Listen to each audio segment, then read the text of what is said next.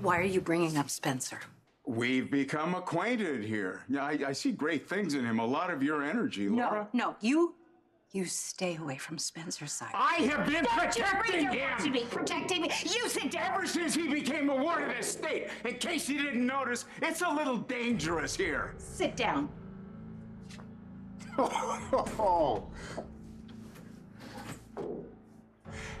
Ask Spencer.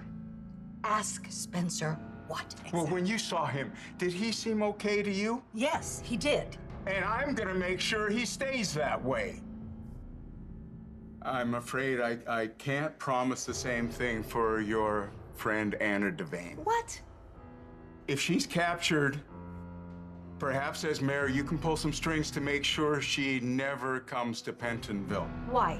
Why? What do you know, Cyrus? Does the name Olivia Jerome mean anything to you?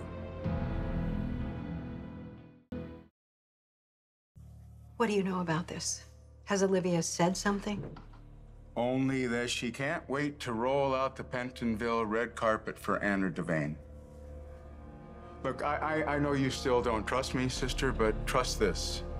If Anna's on the run, it's best she stays that way.